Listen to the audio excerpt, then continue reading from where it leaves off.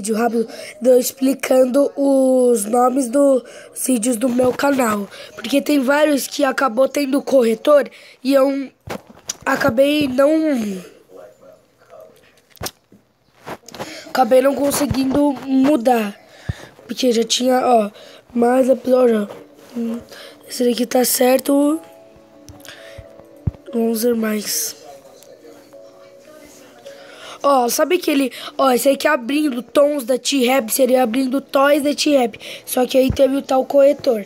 Naquele vídeo, o vídeo mais abundante do meu canal, na verdade era para ser o vídeo mais agoniante do meu canal.